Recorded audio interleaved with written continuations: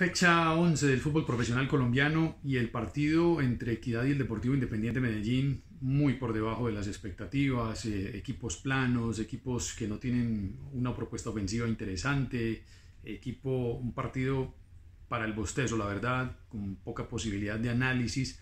Eh, y es un partido más de aguante, más de el que cometa un errorcito o el que tenga por ahí algún chispazo de acierto de creatividad lo termina ganando y así fue que pasó. Deportivo Independiente Medellín entonces que va con el arquero Mosquera Marmolejo, con Mosquera Tegüe, eh, Cadavid Giraldo, Larriangulo, Estupiñán Reina, Byron Garcés, eh, Mauricio Cortés y Leo Castro.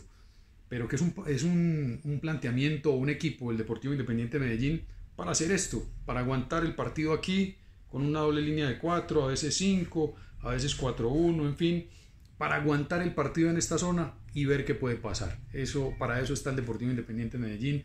No se ve trabajo defensivo, no se ve trabajo ofensivo. Eh, el nivel de, de, los jugadores de la mayoría no es el mejor.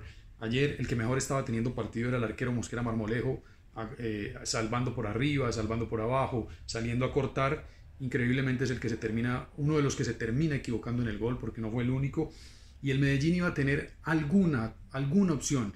Es de esos típicos partidos donde hay un equipo agazapado y otro equipo adelantado, tampoco sin muchas posibilidades de proponer, porque a Equidad tampoco se le cae una idea. Entonces el partido siempre era aquí, aquí, aquí, no pasaba nada. En algunas se logró escapar eh, Garcés y se logró escapar Castro.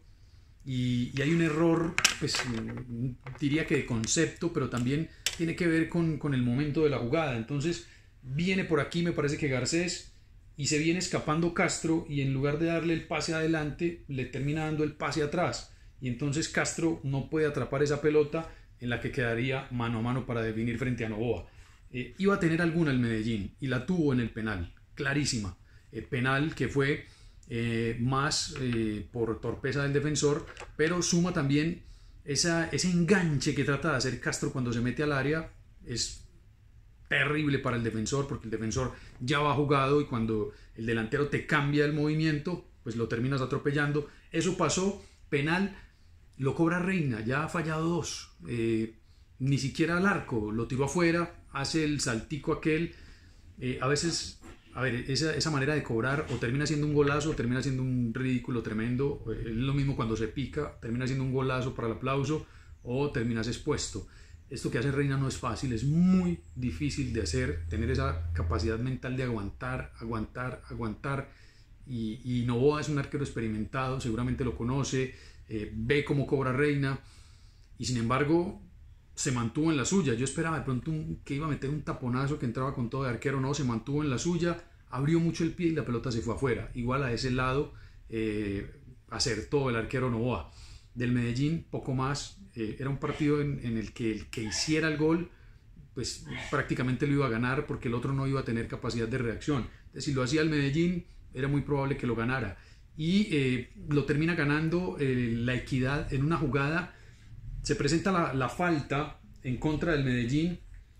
Cobra Mier, un taponazo tremendo, lo salva el arquero Marmolejo y se va al tiro de esquina la jugada. Y en esa jugada de tiro de esquina, es el mismo Mier. Aquí es donde aparecen los jugadores experimentados, vivos. Eh, había incluso comentarios en redes de que Mier parecía un exjugador, de que estaba pasado de peso, en fin, eh, metiéndose incluso hasta con su eh, parte personal o familiar. Pero un jugador como estos, experimentado, recorrido, es el que puede tener ese momento de, de brillantez, de picardía, de experiencia y les termina cobrando a riesgo.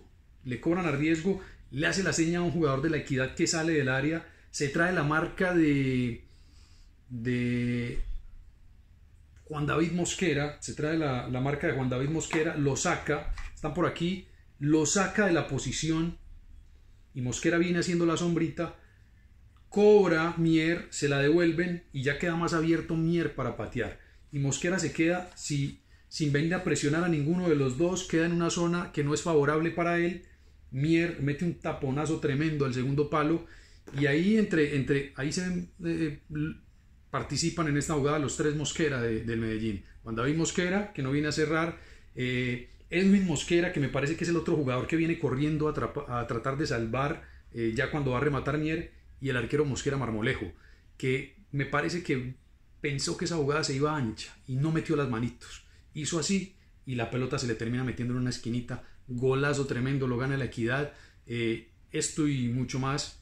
No se vio mucho más en el partido. Lejos quedó ese equipo de equidad de Alexis García que te proponía, que era un, un equipo más dinámico. También hay que mirar qué tiene en el equipo pero es un muy mal partido, flojito por demás, mostraba la realidad de los dos equipos en la tabla, por encima del puesto creo que 12 y 13 los dos, ahora Equidad logra ganar y, se acerca a ese grupito que está entre los 8, queda con 15 puntos, el, el, octavo es el Junior que tiene 17, Medellín ya queda lejos con, a, 5 puntos y, más que estar lejos por los puntos, porque pues matemáticamente tiene opción de clasificar y hasta puede salir campeón, pero es futbolísticamente. futbolísticamente. el equipo no tiene nada, no se le ve nada, no se le ve trabajo, no se le ve ánimo, no se le ve eh, esa triangulación, no se le ve dinámica y está en esa espiral negativa donde todo sale mal. En algún momento esa espiral se vuelve positiva y el equipo va a salir, eh, pero todavía está en esa parte de la espiral donde las cosas no salen.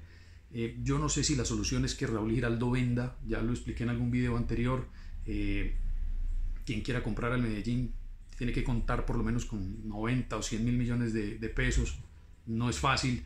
Eh, por ahí también hay, hay, equipos que se están vendiendo como el Real Cartagena, como el, Pereira, creo que por 30 mil, 35 mil millones, en fin, hay, hay, unas cifras por ahí. Entonces, pensando como inversor, eh, puede decir, bueno, yo me gasto 100 mil millones y ¿qué gano?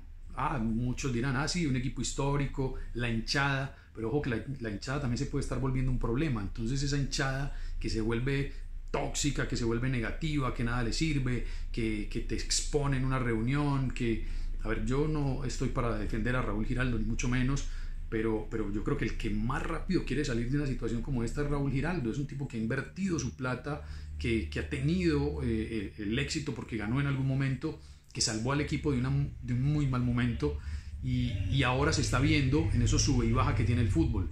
También Raúl ha sido víctima de escuchar a, personas, y hay, hay, gente que se ha ganado mucha plata en transferencias eh, con el Deportivo Independiente Medellín, que no es el equipo, que no es el mismo Raúl Giraldo, y entonces el que termina expuesto también es él. Yo no sé si la solución es vender, yo no sé si él va a vender, yo no sé si va a llegar alguien que, que vaya a pagar esa plata por el Medellín, pero lo cierto es que el equipo todavía está en esa espiral negativa y, todo el entorno, todos se tienen que mirar a la cara y ver cómo van a darle vuelta a esa espiral. Yo creo que la hinchada tiene culpa, tiene que participar también, ser propositiva, no es decir, venga, recojamos y compremos al equipo, porque, repito, es muy difícil, no, no es como comprar una casa o un carro, es un montón de plata, el negocio del fútbol es un negocio muy particular y muy pocas personas están dispuestas a invertir su capital en un negocio tan riesgoso como el fútbol, en una liga tan riesgosa como la nuestra, porque es, es, una liga disparatada total. Por ejemplo, el partido inicialmente era con VAR, partido designado con VAR, y después a última hora que no, porque técnicamente no era, no era posible instalarlo en el estadio de techo, y, y esto también podía haberse evitado una muy mala prensa haciendo una visita previa y haciendo un análisis previo y no decir, bueno, tal partido va con VAR, vayan vaya mire, y después, ah, no, no se puede instalar. Eh, yo creo que aquí es, es una liga que tiene eh, demasiado riesgo para invertir, entonces no sé si, va, si se va a dar una posible venta del Medellín y no sé si esa sea la solución. Y si se da, eh, no es que el equipo va a empezar a ganar de inmediato, esto puede ser un proceso de uno, dos, tres años, reorganizando el equipo, reestructurando para después empezar a, a, recoger algún resultado. Me gustaría leer sus comentarios, sus pensamientos en las diferentes redes sociales. Un saludo para todos.